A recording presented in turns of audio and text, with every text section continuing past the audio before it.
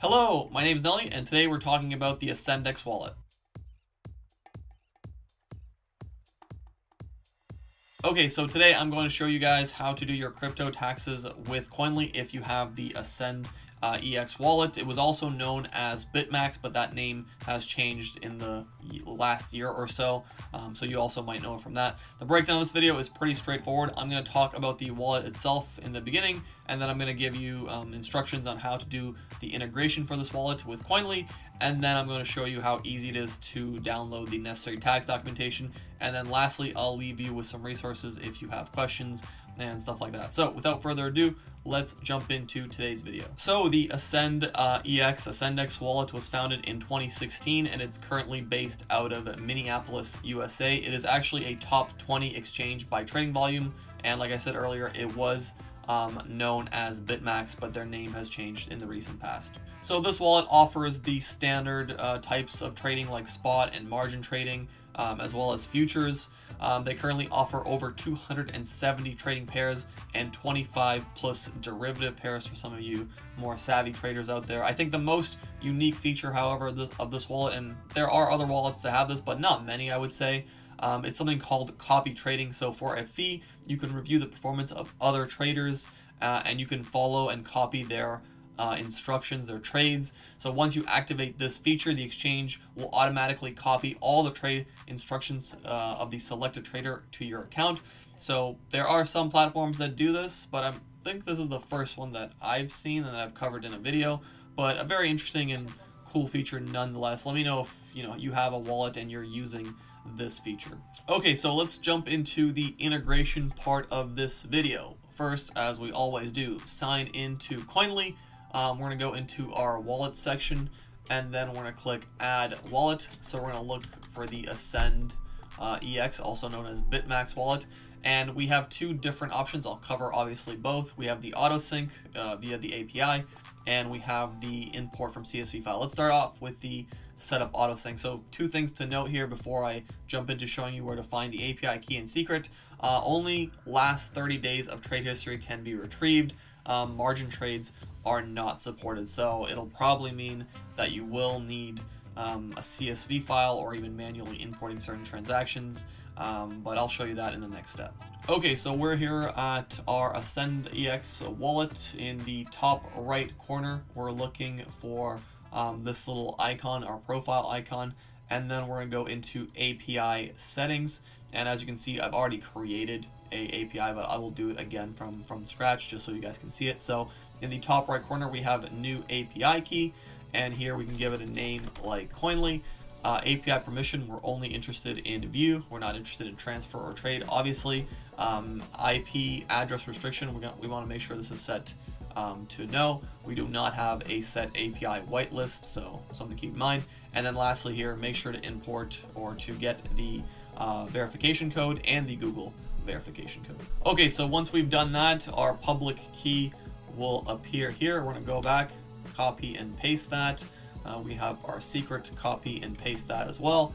And then we're going to click secure import and watch these transactions load in. And there you have it. These are some of the transactions I have and some of the currencies that I'm dealing with. But now let's jump into the CSV file. So we're gonna head over again into add wallet. We're gonna find the Ascend uh, or the BitMax wallet and this time we're to click import from file. And we're back on the main display here of our AscendX uh, wallet. In the top right corner, this time we're to go on um, orders and then cash orders. And here is where we have our information, our you know trading history. Um, in the top right here, we want to click export to um, CSV, export to, to file. Uh, we have two, three different options here. So we have a um, time range for the last seven days, last 30 days, or customize. So let's see, just out of curiosity, can we do longer than three months? It appears that we can. For me, I have not made any trades on this account besides, you know, the last few days. So I'm just going to click export the last seven days. Now I'd like to point something out here. Um, this file only includes trades, so deposits and withdrawals are included in a different file. Um, if you're using the API, then you only need to import this file since deposits and withdrawals will be already imported um, with the API. So if you're using S CSV files, then you'll need to import deposits plus, plus withdrawals um, separately.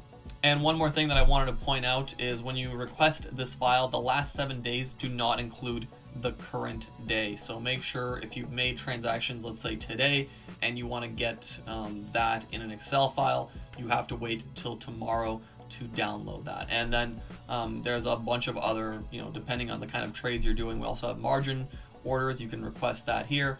For future orders, you can have that here. Um, and I think those are kind of the main ones, um, just to double check here. Yeah, those are the main Excel files that you might need to import into Koinly. Okay, so once we've imported our transactions, we're gonna head over to the tax reports area of Koinly.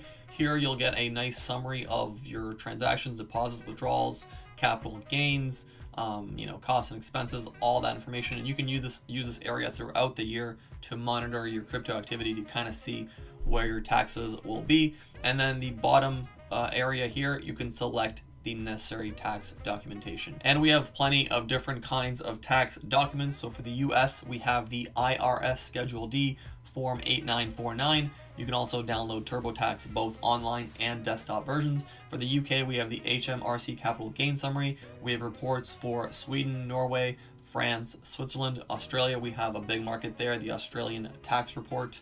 Um, ATO tax report. For Canada and Germany, we have the complete tax report, and this is also a document you can take to an accountant, and allow it allows them to combine it with your um, other tax documentation. And as I always say, um, if you'd like to invite your accountant here to set up the accountancy firm on Koinly, you can do that.